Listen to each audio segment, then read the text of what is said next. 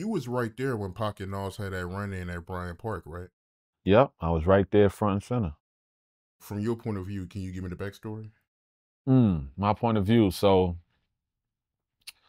the first thing that happened was at the awards, um, me, Kadafi, Fatal, Napoleon, and who else was with us? Our homie from Declare Bang was with us. We inside, right? It's probably about 30 of the homies outside. We inside the awards. Um, we walking in the back. You know, it's the stage, then it's all the seats, and then it's like a little area where everybody walk back. So we walking in the back, and um, Kadafi walking in front of me, and I see him. He looking, and he stopped and kind of like turned and, and looked right there. And there's some guys they like, like right there, and it's Nas's boys, and they kind of like grilling us and shit. So we like looking like, you know, like we grilling them back, you know. So it was almost like a like a little exchange, like like you know what it is. Like, like come on, man, let's you know. So that was the first thing that happened. So we walked, go to our seats and shit. and um Pac, he presented his award. Once we knew, once he presented his award, we knew he was going to be walking out soon. So we got up out our seats. We hanging over on the side waiting for him to come out. So we come out. We see him, and you know, one of the homies probably told him like, you know, we just seen Nas boys and shit. You know, we recognize him from the videos. We always huge Nas fans and shit. Like, we all love Nas. So we recognize the niggas we saw. They was his boys. About five of them and shit. You know what I mean? And um, somebody told Tupac like, yeah, we, you know, we just seen Nas people and shit. It's trying to grill us or whatever. You know what I mean? So um, we start walking back out and um, we see two or three of them again. And um, one of them, I don't know, he says something. Pac kind of like, like we, like they were standing by the the exit way to go out the thing, and uh, Pac kind of start barking on it. And I just remember security like, this ain't, you know what I mean? So we all go out. So we just know like, ah, right, see us, and you know they from Queens. I'm sure they was feeling the way about Pac coming at Mobb Deep, you know, as they should. They, you know, that that was their brothers, you know what I'm saying? So um we leave out. We go to the park, the after party, right? It's like uh, probably a 10 minute walk. You know, you had about 30 Jersey guys outside. And um, we go outside and, um, you know, Pac like, yo, we're gonna go to the after party to this right down the street. So, you know, everybody couldn't fit no van, so we all walked to the park.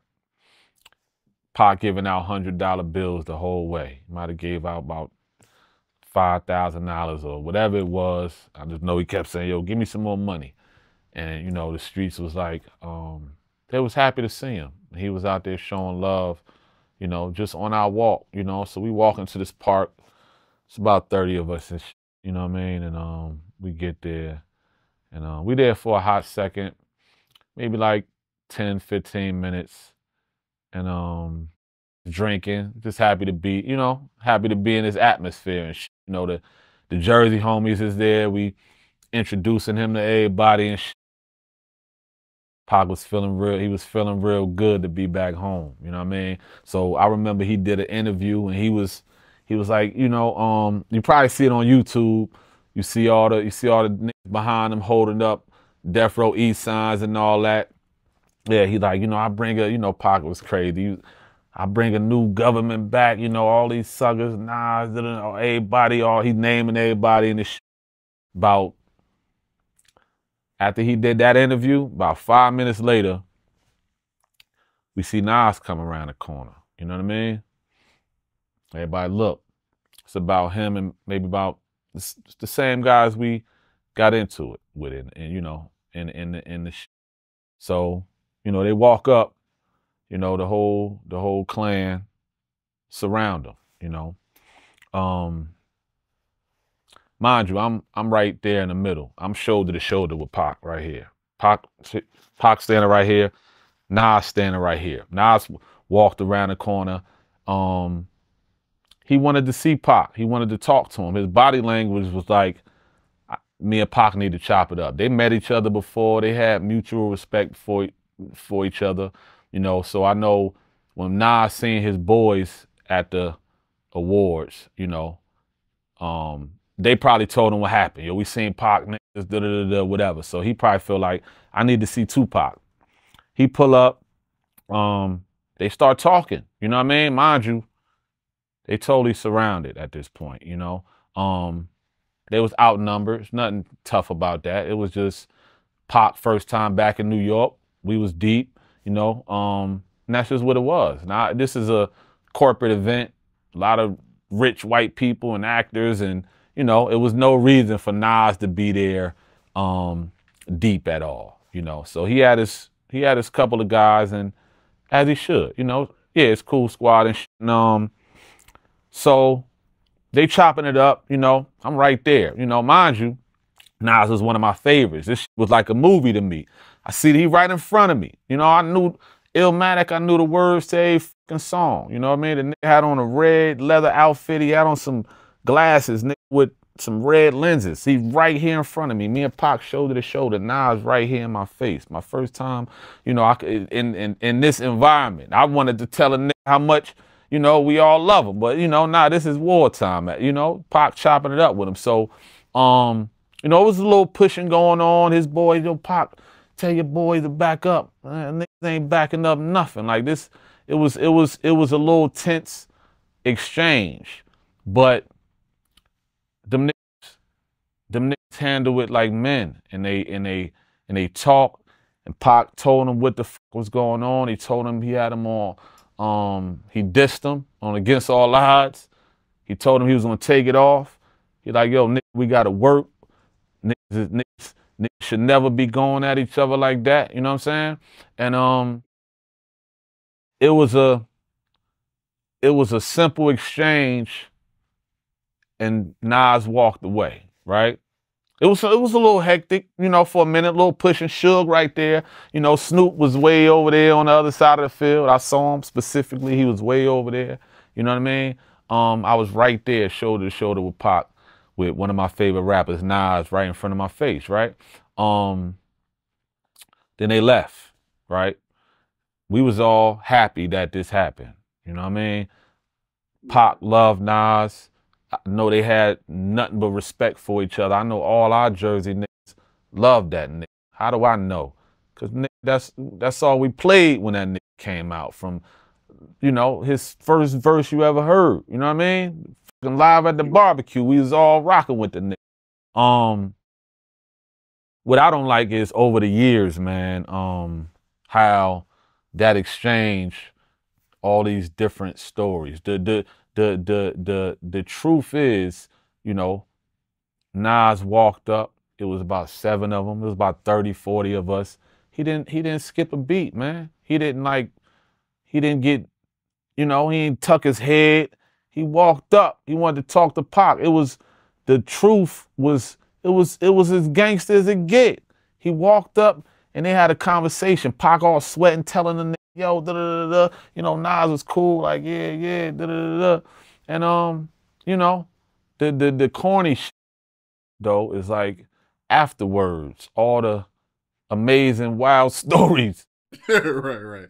Twenty fucking years later, everybody got a wild story what happened that night. You know, his brother Jungle, I'm about to shoot Tupac. He wouldn't have made it out the fucking park. I had heat it was surrounded. There was nothing they could do. You know, anybody could be outnumbered. That's it's nothing.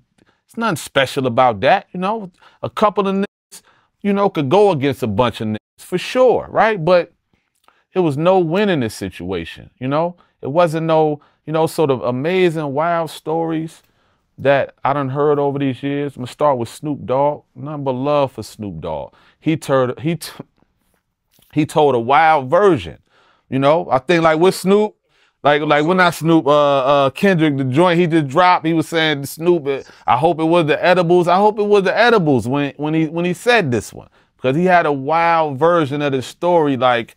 Um, Nas had Pac surrounded and all that, but I'm a to to Snoop defense, right?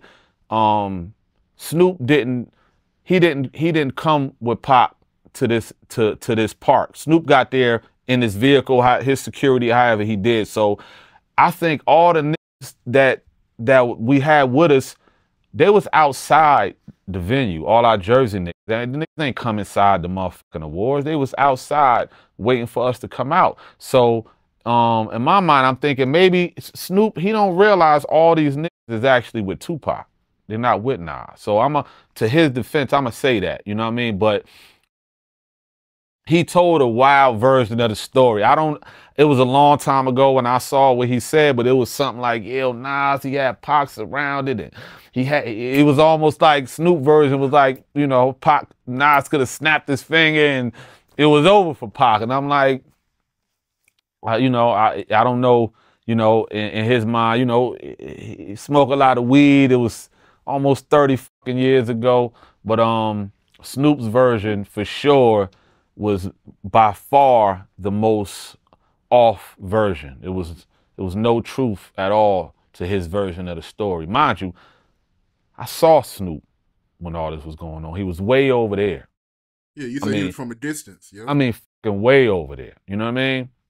So for him, his version was just I don't know so why he couldn't he even hear what they was talking about. He was nowhere near it. I like literally. I think he was doing an interview with cameras in his face. I was just he, this is Snoop Dogg. You can't you can't miss Snoop Dogg in the crowd. He's tall as shit, you know what I mean? So I don't know what made Snoop come up with that version, man. But just over the years, it's it's you know fatal. He he he used to lash out about that. You know, like every time you know Nas or one of them would do an interview, he was like real disappointed because we all loved Nas and looked up to Nas and you know, um, um, to see like over the years how this story done just spiraled out of control with all these wild stories. Nothing fucking happened. Nobody threw a punch. It wasn't nothing. Niggas had a fucking meeting. Them niggas was surrounded. You know? It wasn't no winning for them niggas that day. It was 40 of us. It was seven of them niggas. And he walked up like a fucking G. He didn't stutter. He didn't, his, his step wasn't off. That's the that's the, the realest version of the story. That's the that's the most gangster version of the story. He was outnumbered. He ain't turn around or they go death row. Nigga, Suge right there. Nigga, there wasn't nobody else gonna walk up like that. Wasn't none of them other niggas out there gonna walk up like that. Trust me. That's the most gangster version of the story, the fucking truth. You know what I mean? Walked up it was outnumbered by two, three. It was it was about damn near 40 of us, man. And they surrounded them for real. He didn't stutter. He didn't he didn't wave at all. He wanted to talk to Tupac. They had a mutual respect. So like I just don't understand why it's all this crazy versions where the truth is the most gangster version, man. You know, niggas, his niggas telling stories, had Pac yoked up and all this fucking silly shit. You know, but I think the most disappointing part for me nuts, right? The internet, right? Let me say something real quick. Let me say something. I think the wildest part for me is because I got nothing but love and respect for Nasty Nas, man, and what he brought to the game and how he carried himself. And, um, you know, he's one of our legends and our icons.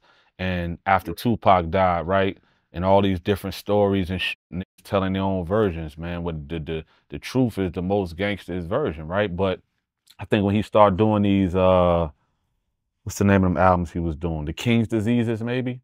Mm-hmm. Yeah. King's Disease trilogy he was doing this. It was like, you know, I think when Snoop's interview set the platform for niggas to like try to run with it. So I, that was the most disappointing part for me.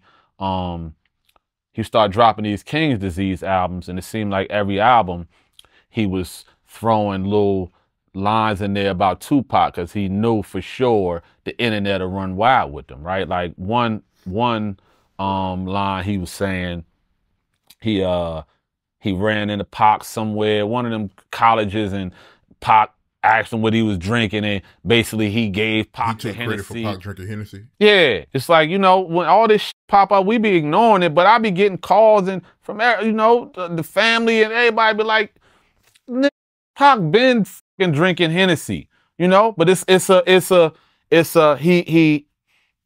It's like you you you you you you dropping these albums, you know. they don't get played on the radio no more, things like that. He don't need none of that shit. He's rich, he's a fucking legend. But it's like the little internet buzz, right?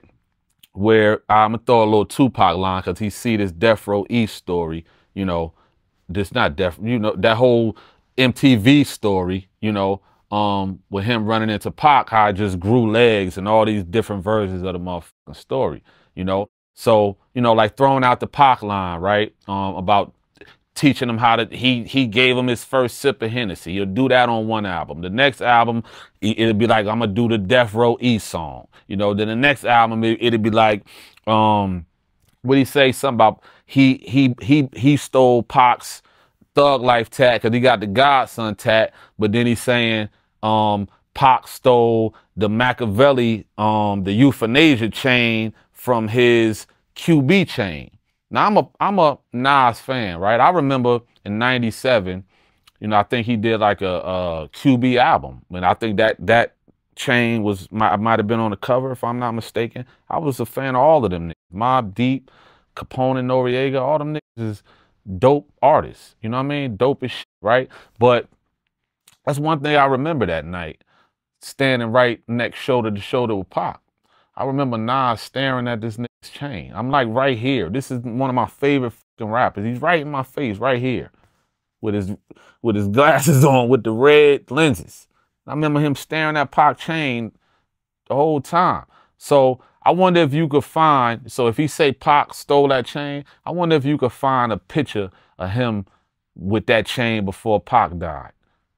Pro- probably not. Probably not to be honest with you. Because I was a fan. I used to pay attention to all that shit, all the videos, the magazines.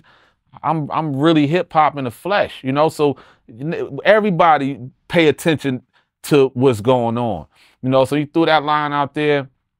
He he Pac bit his chain. You probably can't find a fucking picture of Nas with that chain when Pac was alive. Do some research after this interview and see if you can find a picture of Nas with that chain on. Yeah, I can't recall. You I probably do know he took Pac idea when it came to the Thug Life tattoo. He got Godson. Yeah, he said that. He said that in the song, and then he said, "Yeah, well, Pac bit my QB chain," and that's the thing. I we we we was we was huge fans of yours, and I remember that night. Listen to me, I was right. Ne- Tupac's shoulder was right here, and that's the one thing that I remember from I was 18 years old in 1996. I'm 46 years old, nigga. You know what I mean? I remember that night vividly. My favorite rapper, Nasty Nas and Tupac, right here in my face. Nas got on his dope ass red leather outfit, and he had on some shades, some probably some expensive with with red lenses. And I just remember, you know, he was short, and he was staring at Tupac fancy ass Machiavelli euthanasia chain, you know? So I'm like, you throwing these lines out is it's it's disappointing because you you you're one of our legends and one of our heroes, and Tupac had nothing but love and respect for you. And that night, he treated you as such. And you know, besides all the little pushing niggas was doing, you know, we all loved you too. You know what I'm saying? So that's the most disappointing for me is after all these years, there's all these wild stories. His brother, you know, talking all this. He was about to shoot Tupac. Man, it would have been a whole massacre in that park. Nobody would have made it out that motherfucker. Or God himself. Niggas was surrounded. It was four, five of our niggas had guns, security, shook everybody there. Man, you know? So I think that's the most disappointing part because it's like doing all this stuff on the internet. We're supposed to have more integrity than that, man. You know? Yeah, you're right. I mean, while you was talking, I was doing some research and yeah, Tupac, he was the first person with that chain. There's no possible way he could have copied Nas. And the first time you see Nas with it is the album cover QB Finest, and that came out in 1999. I mean, by then, Tupac was dead. So, yeah, they definitely lying, man.